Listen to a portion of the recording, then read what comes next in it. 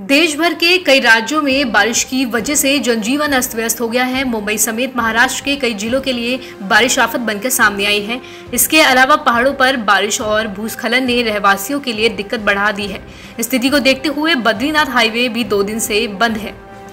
वहीं अमरनाथ गुफा के पास बादल फटने से 16 लोगों की मौत हो गई है। वहीं हादसे में कई लोग घायल हो गए हैं। बचाव अभियान के लिए एनडीआरएफ, एसडीआरएफ सेना, जम्मू कश्मीर पुलिस के साथ स्थानीय प्रशासन सक्रिय है। बादल फटने से तीर्थयात्रियों के कई टेंट भी चपेट में आ गए हैं। यह हादसा शुक्रवार शाम करीब साढ़े पाँच बजे हुआ। हालाँकि हादसे के दो घंटे बाद ही रेस्क्यू टीम ने कहा कि हालात नियंत्रण में है।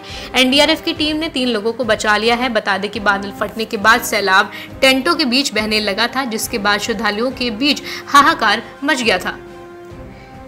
वहीं राजधानी की बात करें तो जहाँ एक और देश के अलग अलग हिस्सों में बारिश आफत बनकर आई है तो दिल्ली में बारिश की कोई गतिविधियाँ देखने को नहीं मिल रही है। दिल्ली में पिछले कुछ दिनों से उमस ने लोगों को परेशान किया हुआ है। हालाँकि मौसम विभाग के मुताबिक आज 9 जुलाई की रात तक दिल्ली में गरज के साथ बारिश हो सकती है। दिल्ली में आज न्यूनतम तापमान उनतीस डिग्री सेल्सियस, जबकि अधिकतम तापमान सैंतीस डिग्री सेल्सियस रहने का अनुमान है। यहाँ दिन में आसमान में बादल छाए रह सकते हैं। वहीं उत्तर प्रदेश की राजधानी लखनऊ में आज न्यूनतम तापमान अट्ठाईस डिग्री और अधिकतम तापमान अड़तीस डिग्री रहेगा। साथ ही लखनऊ में आज हल्के बादल छाए रह सकते हैं। मौसम विभाग की माने तो लखनऊ में अगले कुछ दिनों तक बारिश की कोई संभावना नहीं है। वहीं गाजियाबाद में आज न्यूनतम तापमान 26 डिग्री और अधिकतम 37 डिग्री रह सकता है। साथ ही आज गाजियाबाद में हल्की बारिश हो सकती है।